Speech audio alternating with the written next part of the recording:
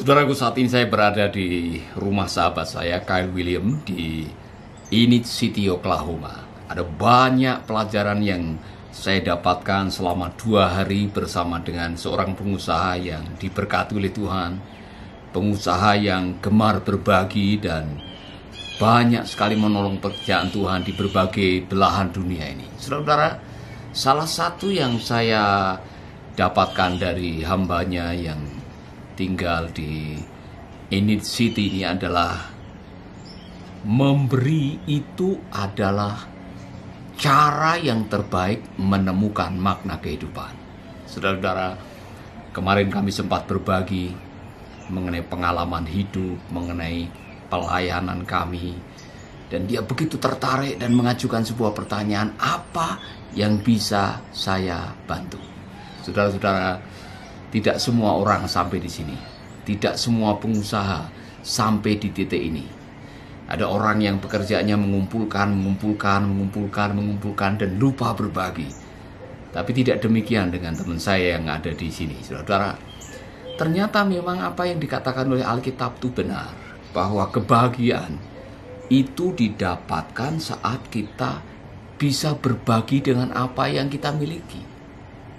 Makanya jangan pernah mengikuti teladan buruk dari orang muda yang bodoh itu, pengusaha yang tiap hari kerjaannya hanya mengumpulkan, membangun lumbung, menabur, memanen, dan dia lupa untuk menggunakan berkat Tuhan untuk berbagi.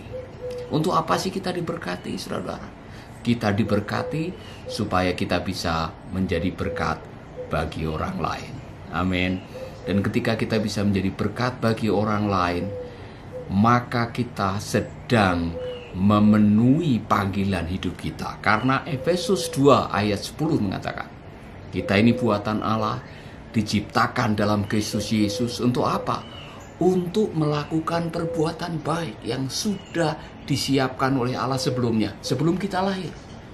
Sebelum kita ada di dunia ini Sebelum kita bisa menjadi orang yang berhasil, Allah sudah menetapkan supaya kita menjadi orang-orang yang melakukan perbuatan baik.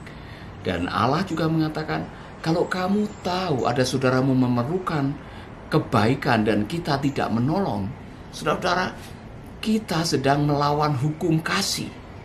Makanya jangan pernah menahan kebaikan untuk orang-orang yang berhak menerimanya. Amin. Jadi bersama dengan hambanya di tempat ini saya diberkati karena ternyata apa yang dia lakukan itu begitu banyak dan diberkati oleh Tuhan dengan luar biasa. Saudara-saudara, kemarin saya diajak mengunjungi salah satu pom bensin dan uh, minimarketnya. Dan di minimarketnya itu ada berbagai macam uh, barang yang dijual, ada kafenya, ada juga tempat bermain anak dan dia mengatakan Paulus ini adalah salah satu uh, minimarket pom bensin yang paling laris, yang banyak mendatangkan uang dan dia tahu untuk apa dia melakukan itu semua karena dia ingin membantu pekerjaan Tuhan. Saudaraku, pom bensinnya bukan hanya satu, ada 30-an lebih dan orang ini adalah orang yang sudah tahu untuk apa dia diberkati. Sehingga waktu kami sharing, waktu kami berbagi, dia punya kerinduan apa yang bisa saya lakukan, apa yang bisa saya bantu.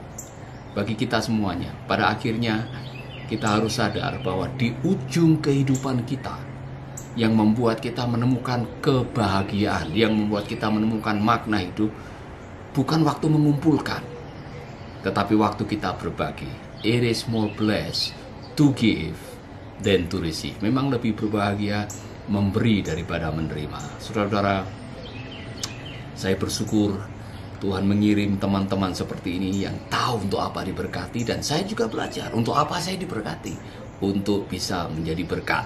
Makanya jangan pelit karena saya belum pernah lihat orang pelit bahagia. Amin. Jangan pelit. Katakan kepada dirimu sendiri, jangan pelit. Mari kita berbagi karena ketika kita berbagi Allah akan memberikan sukacita, makna hidup Dan dengar kalimat ini, at the end of the days, when we come face to face with God, the question in heaven is not how much do you have, but how much do you give. Nanti waktu kita berjumpa dengan Tuhan di surga, pertanyaan di surga bukan berapa banyak engkau memiliki, tetapi berapa banyak engkau telah memberi dengan apa yang engkau miliki. Jangan pelit. Amin. God bless you.